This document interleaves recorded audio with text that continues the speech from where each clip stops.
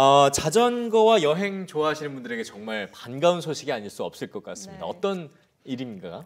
네, 아름다운 자전거 여행길 줄여서 아자길이라고 하는데요. 네. 자전거 여행 문화 확산을 통한 지역 관광 활성화를 위해서 문체부와 한국관광공사가 5개월 동안 개최하는 축제입니다. 예. 말 그대로 아자길로 선, 아자길 30선으로 선정된 지역을 완주하는 페스티벌인데요.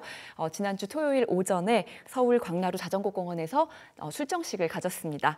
이번 페스티벌은 행사 기간 동안 여행객들이 아자길 30선 중에서 여행 구간을 자유롭게 선택해서 자전거로 여행을 한 후에 그 완주 구간을 전국 걷기 자전거 여행길 정보망인 두루누비에 인증 등록하고 여행담을 SNS를 통해서 공유하는 식으로 진행됩니다. 예.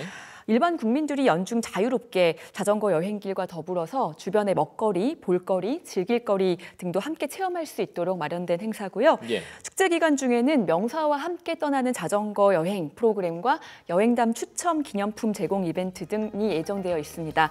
어, 또 11월 23일로 예정된 종료식에서는요, 어, 10선, 20선, 30선 완주자들에게 트로피, 메달과 함께 태블릿 등 기념품이 수여될 계획입니다. 어, 또한 베스트 사진 또는 후기를 선발해서 특별상도 시상할 예정입니다. 예. 무엇보다 참가자들이 건강하고 즐겁게 여행을 여름을 날 수 있는 기회가 될 것 같고요.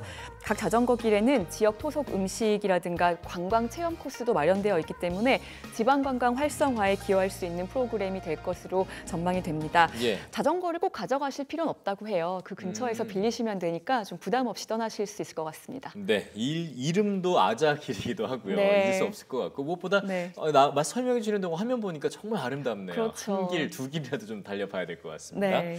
자, 어, 23회 부천 국제 판타스틱 영화제가 이제 이번 주에 개막을 하게 되는데 뭐 다양한 장르들의 영화들이 보통 이제 소개가 되지 않습니까? 네. 어떤 영화들을 좀 만나볼 수 있을까요 이번엔? 네, 예년보다 조금 앞당겨져서 올해는 6월 27일에 개방, 개막하는데요. 개막작은 에드간 이토 감독의 기름도둑이라는 작품입니다. 예. 중부 멕시코에는 밤마다 지하 파이프라인에 구멍을 뚫어서 기름을 훔치는 도둑들이 많다고 하는데요. 주인공인 가난하고 순진한 고등학생 랄로는 여러 가지 이유로 기름 도둑 일당에 가담하게 됩니다. 예. 좋아하는 소녀에게 스마트폰을 사주면서 잠시 달콤한 시간을 갖기도 하지만 결국 비극적인 운명을 맞이하게 됩니다. 담담하지만 커다란 충격과 울림이 있는 범죄 드라마이자 성장 영화입니다. 어, 그 밖에도 이제 많은 흥미로운 장르 영화들이 준비되어 있는데요. 예. 파인 부이아 감독의 내겐 너무 어려운 연애라는 작품은요. 종교와 열정 사이의 선택의 기로에 놓인 무슬림 주인공의 발랄하고 사랑스러운 연애담이 펼쳐집니다. 올해 칸 영화제 개막작이었죠. 짐 자무시 감독의 좀비물 Dead Don't Die도 준비되어 있습니다. 어, 영화 제작 지원과 교육, 또 교류와 글로벌 네트워크의 장이라고 할 수 있는 NAFF 프로그램도 준비되어 있는데 NAFF 프로그램은 크게 판타스틱 영화제 프로젝트 마켓과 환상 영화 학교가 있습니다. 벌써 23회째를 맡고 있는 만큼 어, 일단 지금 지역의 큰 축제로 자리 잡았으면 물론이고요. 예. 지금 이제 세계 판타스틱 영화제의 허브로서 중요한 역할을 하고 있습니다. 네, 이번 영화제도 굉장히 기대가 되네요. 네.